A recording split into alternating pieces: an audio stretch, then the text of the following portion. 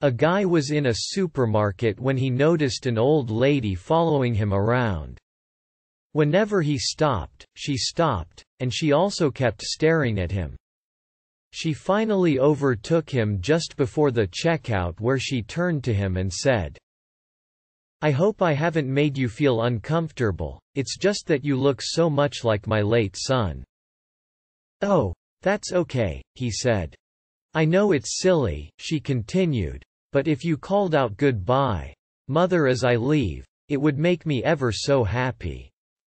The old lady proceeded through the checkout and as she left the supermarket, the man called out goodbye mother. The old lady waved back, and kindly smiled. Pleased he had brought a bit of sunshine to someone's day the man went to pay for his groceries. That'll be $105.35, said the clerk. How come? inquired the man. I've only bought a few things. Yeah. But your mother said you'd pay for her.